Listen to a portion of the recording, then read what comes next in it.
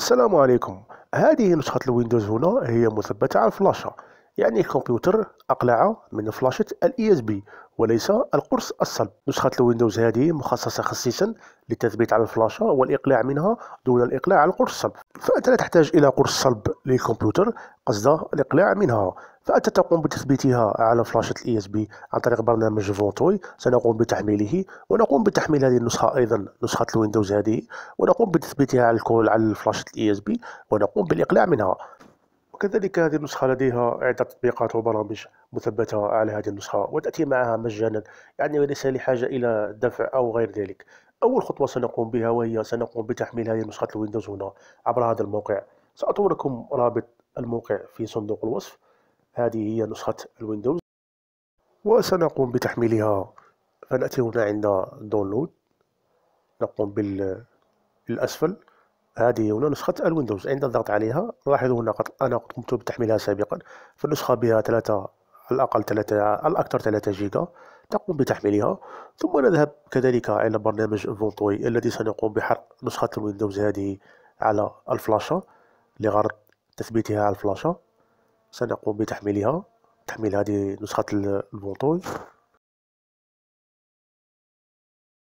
وسنقوم بفك الضغط عن نسخة ال Ventoy extract here يعني فك الضغط هنا. لاحظوا هنا هذا هو برنامج ال Ventoy تقوم بالضغط هنا على هذه هنا وتظهر لك هذه النافذة هنا نافذة برنامج ال Ventoy لاحظوا هنا يجب أن تدخل أن تقوم بإدخال فلاشة ال USB إلى الكمبيوتر ويجب أن تكون على الأكثر على الأقل على الأقل أكثر من 8 جيجا. يجب أن تكون فلاشة ال USB أكثر من 8 جيجا على الأقل. ثم تقوم بالضغط هنا على install. ثم نعم ثم oui.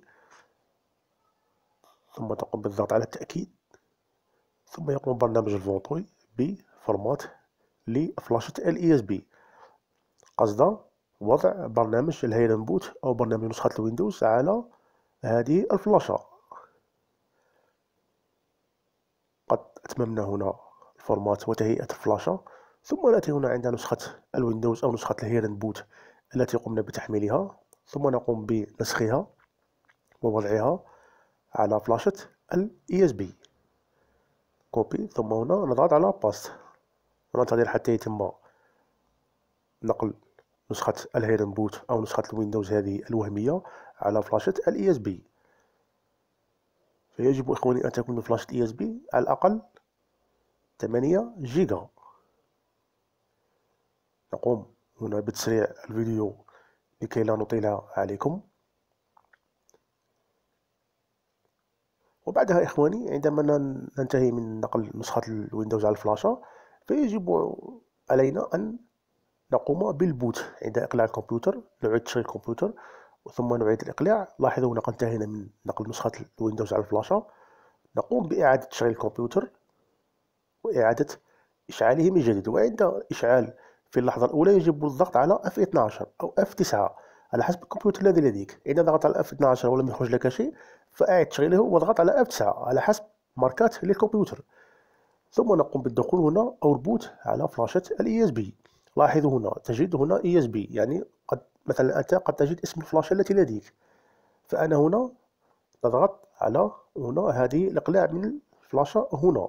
تقوم بالضغط هنا وبمجرد الضغط هنا لاحظوا هنا قد ظهر لنا ال boot من الفلاشة.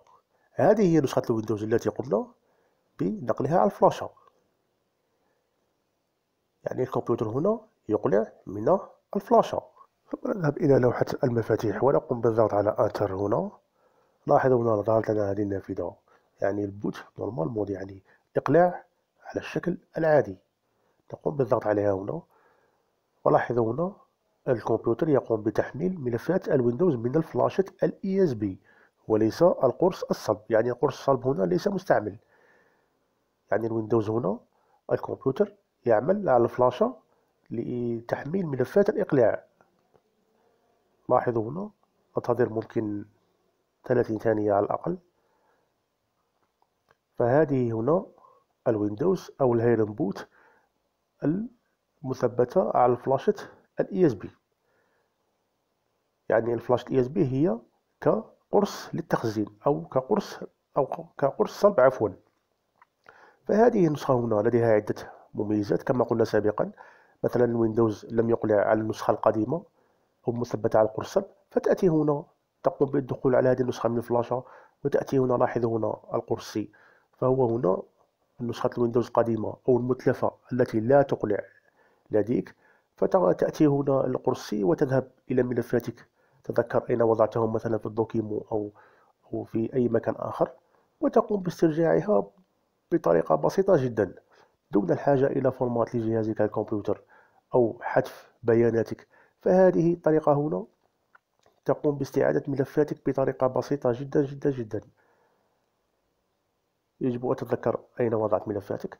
وكما قلنا هذه النسخة أيضا نسخة ال Windows هذه أو ال Hiren's Boot فهي لها طريقة أخرى أيضا في تخطي ال password. مثلا قد وضعت password على جهازك الكمبيوتر وقد نسيته. فتأتي بهذه الطريقة. تقوم بتحميل نسخة ال Hiren's Boot وتضعها على الفلاشة وتقوم بال boot من الفلاشة وتقوم بتخطي كلمة السر وال password عن طريق هذه نسخة أو هذه برنامج ال Hiren's Boot وسأترك لكم رابط تخطي ال password الكمبيوتر على صندوق الوصف. فلاحظوا هنا أنا عايز أن أريد أن أنقل ملفاتي التي أستحقها بالضغط هنا على copy هذه الملفات التي أريد استرجاعها ثم أذهب إلى الفلاشة. بمجرد الفلاشة التي بها ال Windows الوهمي أو ال Hiren's Boot. لاحظوا هنا Ventoy. فتقوم بالضغط على ضغط عليها الدخول عليها وتقوم بلصق. يعني ملفاتك قد استرجعتهم وتريد لصقهم على الفلاشة. مباشرة التي بها ال Windows المقلع عليها الكمبيوتر. وكما أن هذه نسخة ال Windows أو نسخة ال Hiren's Boot CD فبها عدة برامج مثلا هنا data recovery لاسترجاع بياناتك من القرص وكذلك defrag وكذلك diagnostic لتشخيص ملفات النظام ال Windows التالفة وكذلك أيضا هنا مجموعة من البرامج والتطبيقات تستطيع الاتصال بالانترنت عن طريق Google Chrome يعني الدخول تتصفح الانترنت بشكل عادي جدا. بمجرد إدخال clé Wi-Fi أو رقم السري للواي فاي تستطيع الاتصال مع الانترنت مباشرة على هذه النسخة. فهذه نسخة جد جد جد رائعة. فأنصح بوضعها على فلاشة USB وتبقى كاحتياط لربما مستقبلا يتلف لك الكمبيوتر ولا يريد الإقلاع. فتقوم بإدخال هذه النسخة هنا وتقوم بإصلاح ملفات ال Windows التي تريد الإقلاع عليها أو الكمبيوتر. وبهذا إخواني وصلنا إلى نهاية الحلقة. والسلام عليكم ورحمة الله تعالى وبركاته.